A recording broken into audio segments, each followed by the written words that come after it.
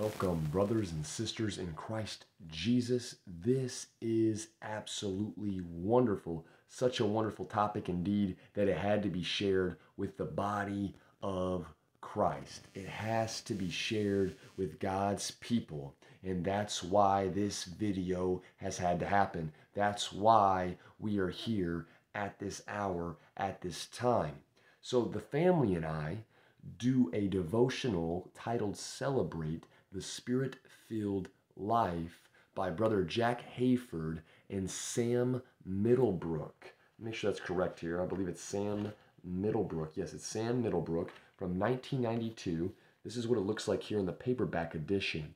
But nonetheless, these two devotionals from July 5th and July 6th, so the last previous two days, has been power packed in the unity of God's people in worship and praise. With a sincere heart, of course, but nonetheless, this is something we need to take hold of, grip fastly and tightly, and know that our God means business when we see it manifested through His Word and brought forth to us in such a way we cannot deny, we cannot deny the goodness of who God truly is and His being worthy to be praised. So, if you could please join me as we do a couple readings here from July 5th and July 6th so that we may grow in faith, grow in spirit and in truth, and worship our Father God properly through Christ Jesus. Nonetheless, prior to diving into these two devotionals, I would love to pray that we would have discernment and not listen to what I say, what Brother Jack Hayford says here in the written in this written devotional, but what the Spirit of Almighty God says and is speaking to our hearts as He is ministering to us this day. Let us pray. Father God, we just thank you in Christ Jesus for the privilege to join together in this online community, for the privilege to come together at such a time as this to hear what you're saying to us. So we just pray for discernment. We pray that your word would be made clear to us today, that the truth would set us free, that we would have greater understanding and wisdom as to knowing who you are to us, and then the granted strength and power to apply it in our lives, Lord. We thank you for all these things, Father. In Jesus' mighty name and being, we praise you. Amen. So, we're going to start with July 5th. It's titled Christian Community, sorry, Christian Community, Part 1. It goes as this The scripture Breaking bread from house to house, they ate their food with gladness and simplicity of heart, praising God and having favor with all the people. Acts chapter 2, verses 46 and 47. This is what Brother Jack Hayford has to say on this topic. The Church of Jesus Christ may be defined as a worshiping community. One of the most fundamental and foundational acts of God's people is worship. Because God does what He does saves, heals, restores, renews, refreshes. We do what we do praise, adore, give thanks, worship. To the God who has called us to Himself, we respond in worship, obedience, and service. In our relationship with God, we get our definition. We are the people of God, and because we are His, we worship. Hallelujah. By worshiping the one true God, we become true persons. By this act, we fulfill our ultimate destiny. Many aspects of this life will be left behind when we enter the next world, but one thing will remain. Through all eternity, we will continue to worship the Lord who redeemed us in love and his Christ who saved us by grace. Praise God, family. Praise God. Today, also, we commit ourselves to be people of praise.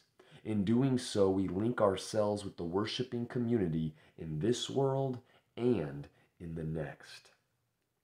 Amen. So that is Christian Community, Part 1, July 5th of the Celebrate Spirit Filled Life 365 Daily Devotional. So there's a lot to glean right there. We need be a people of praise and worship. But nonetheless, the Word of God speaks for itself, and Brother Hayford here did a great job of expositioning the Word of God there in Acts 2 46 and 47. So we're going to move on now to part two of Christian Community for July 6th, which by the time this is posted, that will now have been yesterday.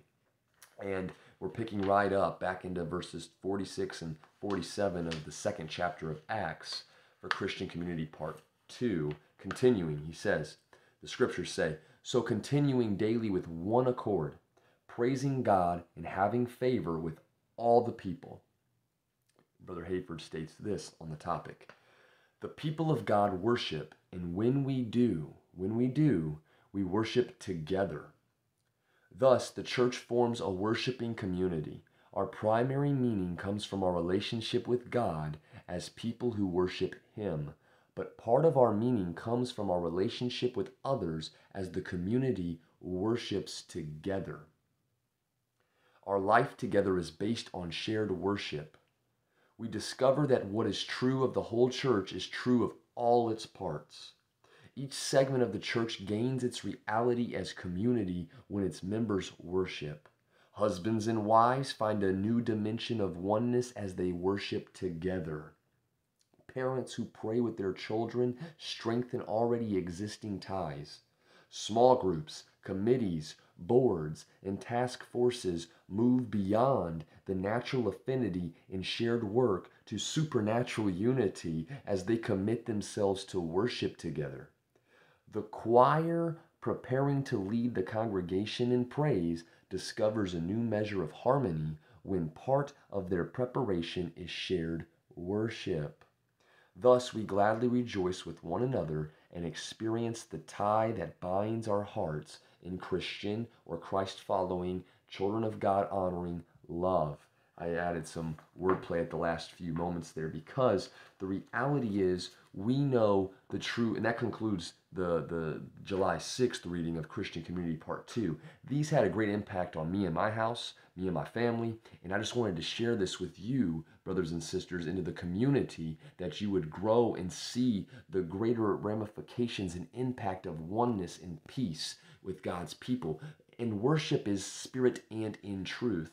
Jesus declares boldly through his word that the word of God itself is indeed spirit and life, spirit and truth. So we worship God through his word and joining together in heart with Almighty God. For what comes out of a man's heart or out of a man's mouth cometh from the heart. So the word of God is the revelation of the heart of God, and we can join together in seeking after the heart of God and worshiping in spirit and in truth.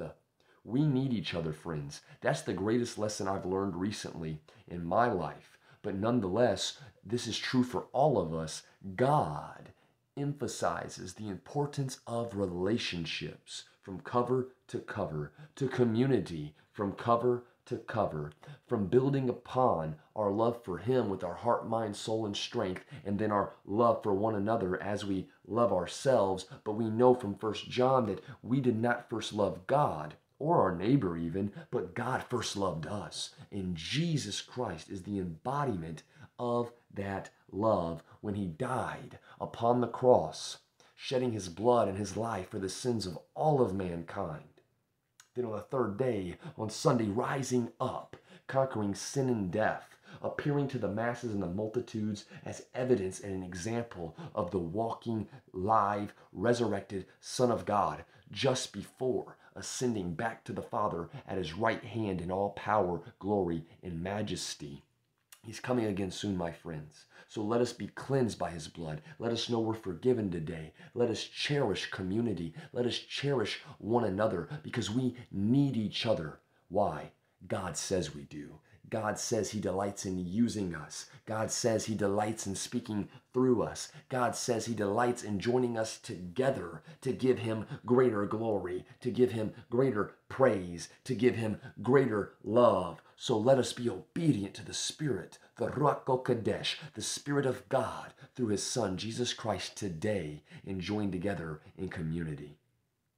We'll see you next time, Lord willing. Until then, peace, grace, and mercy be with you all. I pray this was a blessing. Amen.